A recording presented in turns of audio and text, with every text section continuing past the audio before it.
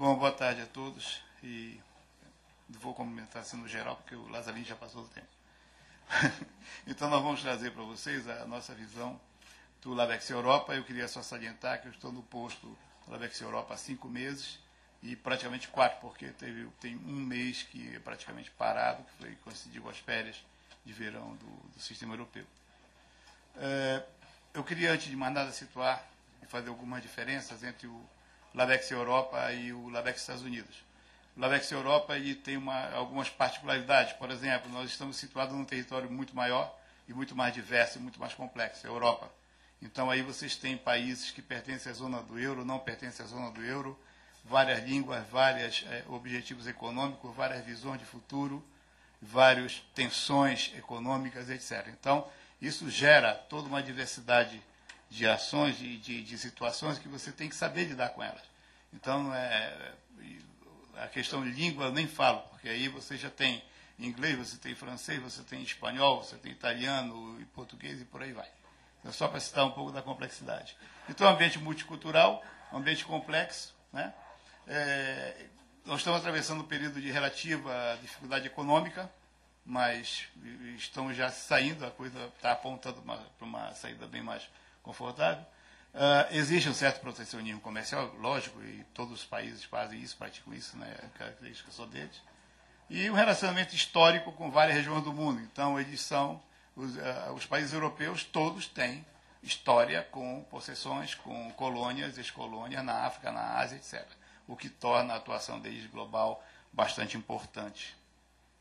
Uh, Para você é, é, é, lidar com isso, existem alguns pressupostos que aqui também algumas coisas para nós refletirmos aqui dentro da nossa casa, esses pontos que eu coloquei. E nós temos que ser bastante proativos né, na prospecção de oportunidades, prospecção de, de chances de evolução dentro desse ambiente. E só em Montpellier, por exemplo, você tem milhares de oportunidades, milhões de oportunidades à sua disposição. E às vezes fica muito até difícil de você conseguir isolar certos fatores, porque são tantas as chances que você se depara, né? É, mas existe uma coisa que eu gostaria de chamar a atenção. Onde é que é o laser aqui? Não, não está aqui. É, como? É no meio, né? Mas e não está não está funcionando. Mas é esse ponto de estímulo à integração de redes de pesquisa brasileiras a redes internacionais. Eu acho que isso é uma coisa que nós devemos é, é, tratar disso, porque existe uma, uma, uma grande oportunidade de nós ligarmos nossas equipes a redes internacionais. E eu noto, não sei se é impressão só minha, que nós somos, na Embrapa, nós somos tímidos em relação a isso. Então, nós deveríamos ser mais atirados, mais proativos nessa nossa ligação, nessa nossa interação com redes internacionais. Né? É, existe uma dificuldade na simetria de atuação, porque o nosso arcabouço jurídico-administrativo, sobretudo da Embrapa, nos dificulta muito essa atuação na questão de transferência de recursos, é, é, muitas vezes a questão de propriedade intelectual, mas são assuntos de, que nós vamos ter que saber tratar disso na evolução das coisas, eu acho que a Embrapa está na atuação internacional dela evoluindo por um bom termo, ou seja, nós estamos mudando já algumas coisas e existe perspectiva de outras mudanças. E que, nós temos que também atuar numa condicionante de um ambiente cooperativo e, sobretudo, né, trabalhar com equipes motivadas e voltadas para a cooperação internacional, fazer as pessoas dentro da Embrapa também entenderem o que é cooperação internacional, que a gente nota no dia a dia, e eu falo muito do interno, eu ainda estou muito impregnado do nosso sistema brasileiro interno, nós temos ainda muita dificuldade de, de nos relacionar, de motivar as equipes para fazer isso. Mas, enfim, agora existem também muitas oportunidades proporcionadas pelo LABEX Europa. Por exemplo, só associada a, a, a só é, a instituição científica associada à agricultura tropical, nós temos só no lugar onde está instalado o escritório da coordenação do LABEX Europa, um parque tecnológico apreciável. Então aí você tem uh, a nossa situação lá, né? e nós temos logo pertinho um, um dos maiores campos do CIRAD, acho que é o maior campo do CIRAD, de Lavalete, bem junto, tem outros no é, tem um monte de campo, de campi em volta, etc., com uma densidade científica bastante grande. Nós temos instalações do INRA também, IRD, CNRS, enfim, todas as, as, grandes instituições francesas de pesquisa, desenvolvimento e inovação estão ali. Né? Além do que, existe um grande número de universidades também naquele mesmo espaço físico, próximo ou bem próximo. Isso sem falar de outras é, é, polos, como Toulouse, Lyon, Marseille. Quer dizer que você está a poucas horas de carro, uma hora de carro, você chega lá. Então, é uma oportunidade, é um, um local bastante profícuo para o crescimento da cooperação internacional. E nós somos vizinhos do, do, da sede do CIDI. A sede do CIDI está sendo construída exatamente do lado da janela de onde fica o escritório do Labex Europa. Né? Eu acompanho todo dia o crescimento do prédio lá. E eles estão no terceiro andar, logo acima de nós. Então, relacionamento se torna muito fácil. Aqui eu já falei sobre a questão da associação das universidades, né?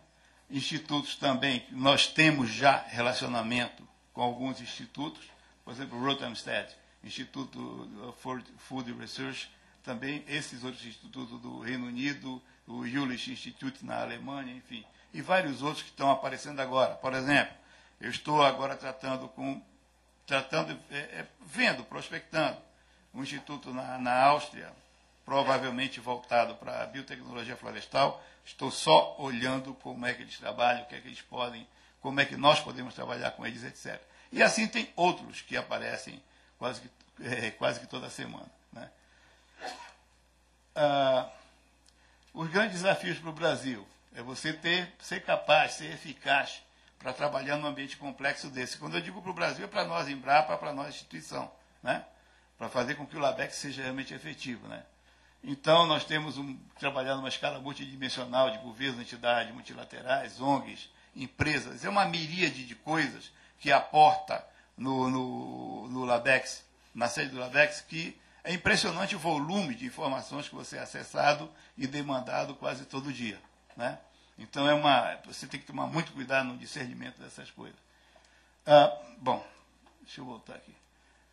E desses pontos todinhos, o que eu gostaria de chamar bastante atenção é nesse ponto de você motivar jovens pesquisadores para criarem redes de pesquisa e se ligarem a redes de pesquisa internacionais. Eu acho que nós estamos tendo a oportunidade com Ciências Sem Fronteiras, e mesmo com o nosso pessoal que está fazendo pós-graduação, de termos contato com redes muito poderosas do exterior e que, por hábito ou por algum motivo, pelo luto da tese, que a gente chama assim, né, depois que acaba o curso, a pessoa pensa que fechou a tese, acabou e volta para o Brasil, volta para a sua instituição de origem e não traz o mais precioso, que são relacionamentos.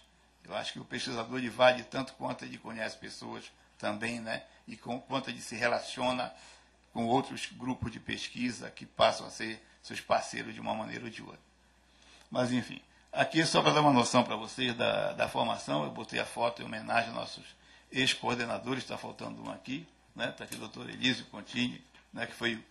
inclusive tem uma característica, uma particularidade nesse Labex. Todos nós moramos no mesmo apartamento, mas não ao mesmo tempo. que alugou foi Elísio Contini, que passou para o outro, que passou para o Vieira, que passou para o Pedro Arcuri, que passou para mim. Agora não sei se nós vamos ter que é, continuar com isso, porque mudou a empresa que gerencia o imóvel. Né? É um imóvel muito agradável. Mas, enfim, já, já tem uma placa da Embrapa na porta, viu, presidente? Já está lá, não sei se vai ter complicação depois. Tem uma placa da Embrapa na porta do meu apartamento lá. Mas, enfim. E nós temos a chance de sermos abrigados pela Agrópolis, que é uma Agrópolis Internacional, que é uma, como se fosse uma espécie de fundação, instituição, que gerencia ou que tem uma grande atuação nesse parque tecnológico. Inclusive, ela publica dossiês muito interessantes. Aqui fora eu queria que vocês olhassem eu trouxe dois para mostrar. Esse aqui sobre tecnologias verdes é muito interessante para olhar o que é está sendo ofertado pelas várias instituições francesas lá. E aqui também o que foi feito em homenagem aos 10 anos do LADEX. Aqui está todo o LADEX, a história do LADEX Europa está aqui dentro. Se vocês quiserem dar uma olhada, inclusive ilustrado, trabalho muito bom que foi feito pelo Pedro Arcuri, está aqui fora para os senhores poderem acessar. Aqui um pouco da linha do tempo, que é a espiral do tempo, né? É, é, sobre, sobre as atividades de LABEX, nós podemos ver, a grosso modo, que nós tivemos e continuamos tendo muita atividade em genômica, em, em monitoramento territorial e também na parte de, de alimentos. Né? Então, grande parte dos postos LABEX que foram ocupados até hoje, eles foram ocupados com essa ótica. Né? E Bom, também vocês podem ter informações. Nós temos hospedado no site do, do, da Agrópolis Internacional a nossa, a nossa homepage. Isso vai ser mudado, porque a Embrapa está criando. Agora vamos fazer um espelhamento para ela. Ela vai ter um espelhamento com essa página da Agrópole, mas vai ser hospedada aqui conosco. E vai, já vi, eu já vi, a Edmeia está aí, eu já vi a Edmeia, a, a, a Edmeia não, a Gilciana, eu já vi o, o, a cara da primeira, do, do projeto, eu, eu, gostei muito, ele está clean, está muito bacana, está muito legal, a, a nossa página vai ser muito boa. Essa aqui é a configuração atual, esse cara aqui, o mais bonito sou eu, lógico, né? Tá aqui. Eu sou o coordenador atual do Labex Europa, e nós temos atualmente três postos. Nós temos o doutor Paulo Rema, que é do CNPedia, que está trabalhando com o desenvolvimento de um sensor 2D baseado em, em, em é, reflectância de, de, tempo. TDR, baseado em TDR, são duas varetas de TDR que vão varrer risobox, são caixas, para avaliar crescimento de raízes, vão varrer em dois sentidos, então isso vai facilitar muito os estudos de fluxo de água para os sistemas radiculares e vai ajudar muito também na seleção de plantas tolerantes à seca. O protótipo já está já tá indo, já tá indo. O Paulo Rema é um pesquisador extremamente ativo, está trazendo agora para cá um workshop sobre é, fenotipagem de alto desempenho, está fazendo uma visita, está vindo agora ao Brasil, e ele objetiva criar a rede brasileira de fenotipagem de alto desempenho. Então, é um, eu, acho que, eu acho que esse vai ser o grande produto que ele vai conseguir trazer. Né? Então, é uma pessoa que está trabalhando muito sério.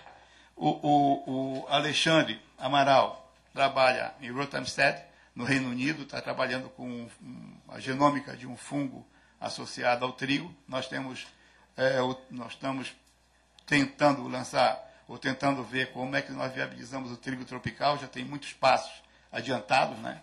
Isso é uma, eu acho que para a Embrapa vai ser uma boa coisa, mas nós temos uma pedra no sapato, aliás, temos um fungo na folha, que é um fungo que, nos, que é da Bruzone, que, por nosso azar, ataca o trigo também aqui, em regiões, em área mais quente. Então, ele trabalha com a genômica disso, com a comunicação esporo, hospedeiro, etc., e faz um trabalho excelente. Só tem um grande problema. Ano que vem ele vai sair. Acabou o tempo dele.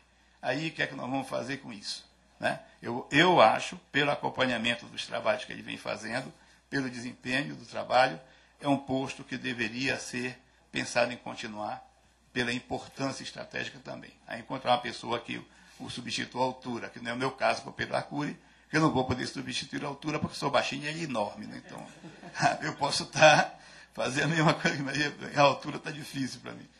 Bom, e nós temos agora a nova chegada, a Henriette, que chegou quase que parelho comigo lá, e ela veio do Centro de Agroindústria Tropical, e está trabalhando com, com desenvolvimento de biomembranas, eu vou falar mais tarde sobre o trabalho dela, muito rapidamente. Então, está aqui, são essas linhas que nós trabalhamos atualmente no LABEX. Né? Tem algum, entre elas, existe uma possível interrelação, né? e essas três linhas também, sobretudo essas duas, de fenotipagem e a da Henriette, elas podem ser usadas em, em novas prospecções que eu vou falar daqui a pouco. Né?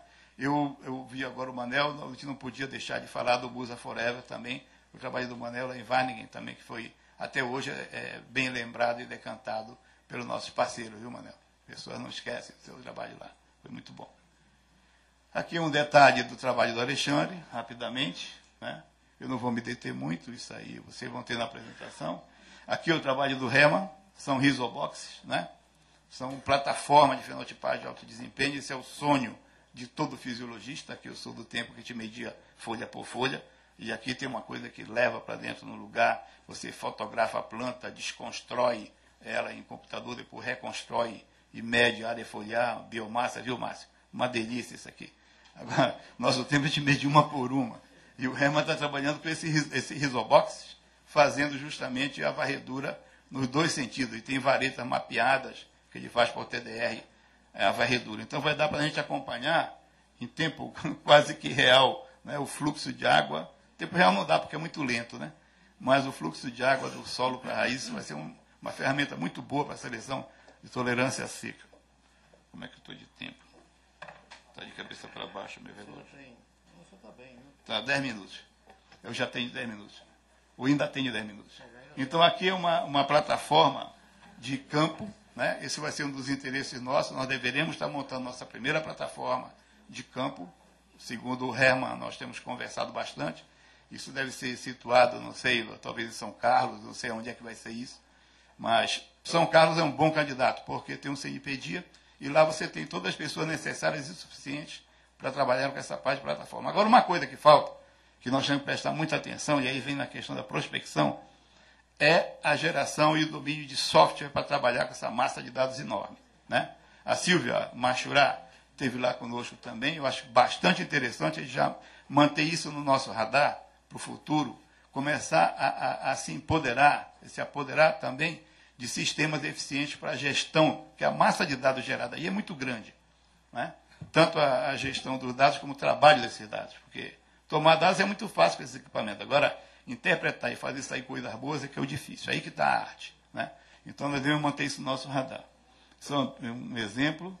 Aqui o trabalho da Henriette, ela está trabalhando com resíduo de trigo e banana, mais de trigo, porque às vezes é difícil ela conseguir resíduo de banana lá no Reino Unido, né, mas está trabalhando com resíduo de trigo, mas vai no mesmo sentido. É uma pessoa extremamente criativa, super ativa também, né, uma pessoa que você conversa com ela 10 minutos em 10 ideias. Já.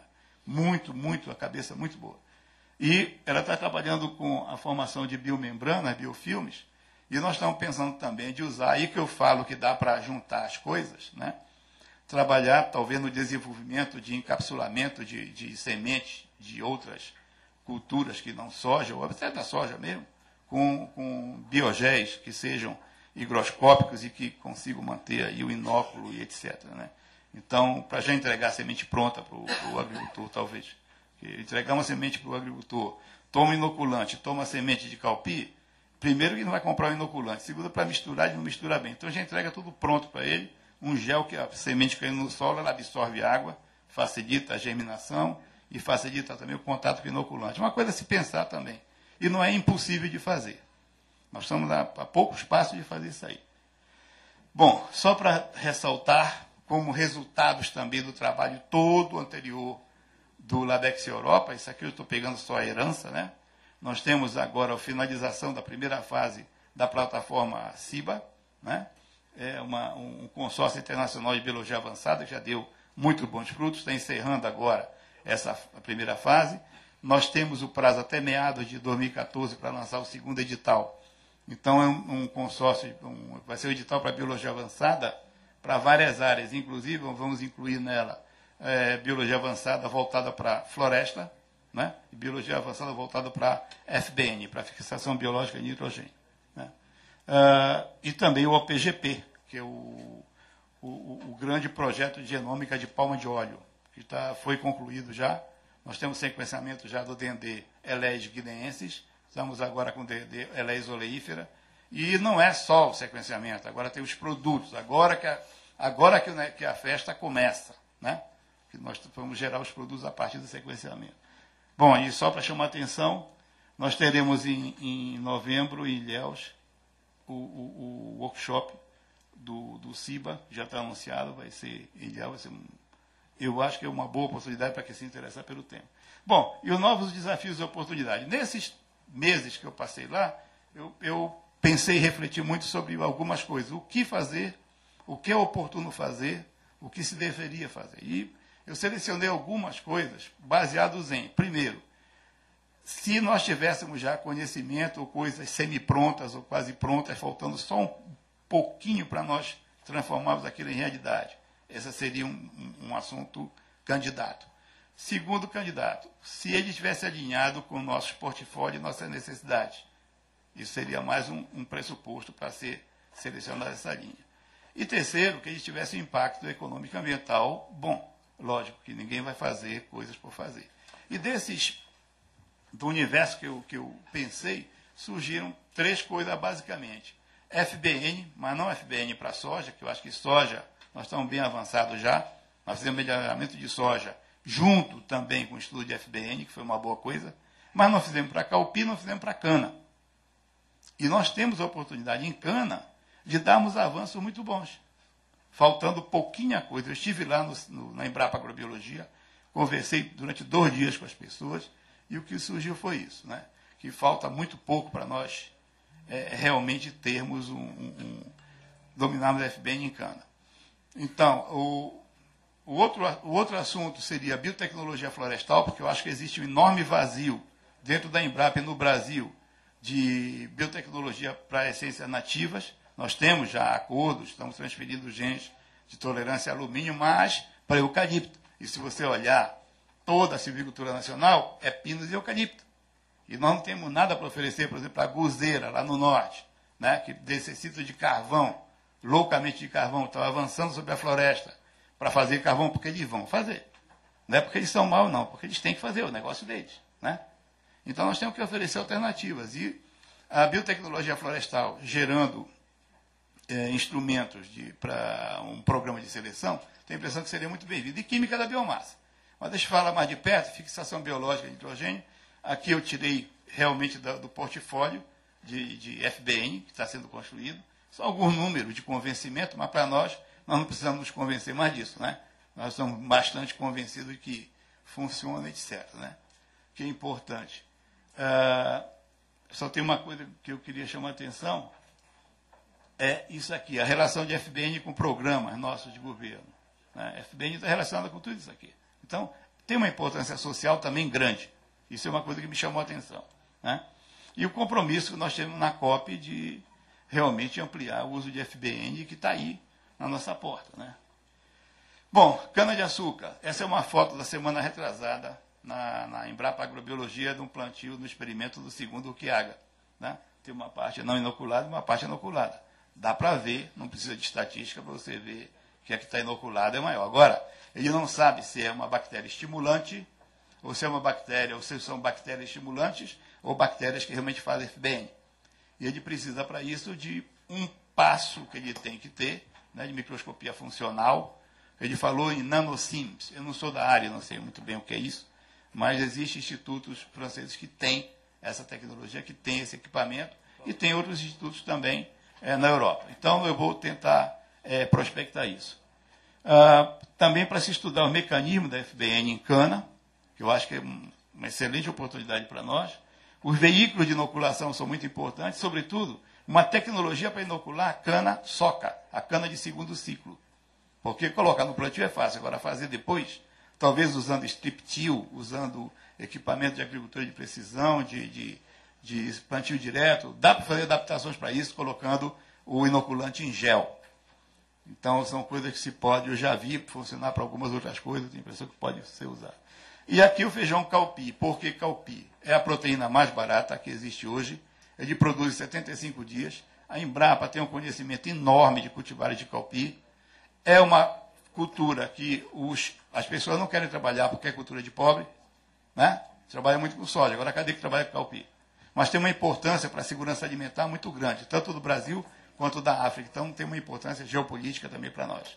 E nós temos estirpe de bactérias para calpi e temos cultivar para calpi. Agora, nem sempre qualquer estirpe combina com qualquer calpi, qualquer variedade de calpi. Então há que se fazer toda uma seleção de, das melhores combinações Inclusive, uma boa notícia: acabamos de escrever uma bactéria nova do Maranhão, de calpi, que está simplesmente quase triplicando a produtividade de calpi a campo.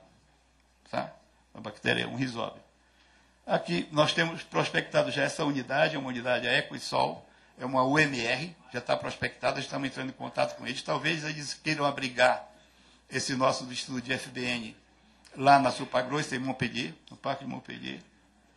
Para biotecnologia florestal, nós temos árvores candidatas. O Paricá, que é base de uma, de uma indústria emergente de, de, de, de MDF, mas com densidade variando enormemente. Nós precisamos dar uma resposta para isso. Taxi branco, para a questão energética, carvão. E mogno brasileiro. Então, tudo isso são, são alvos que poderiam ser pensados. Né?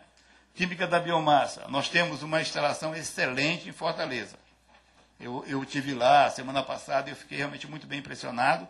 Nós temos condições de receber, inclusive, o LABEX inverso lá em Fortaleza para tratar desses assuntos. Aí tem uma oportunidade grande já, um primeiro produto de cara, por exemplo, um adesivo não tóxico baseado em lignina. Basta nós termos um processo mais eficiente para extrairmos lignina. É possível fazer? É. Quanto tempo? Eu acho que dois anos temos isso na mão. Então são coisas, eu estou prospectando coisas reais que tenham reflexo logo depois. Né? E corantes naturais, nós temos uma patente aqui quase pronta. Ok, tempo esgotado. Bom, e seria isso. Muito obrigado.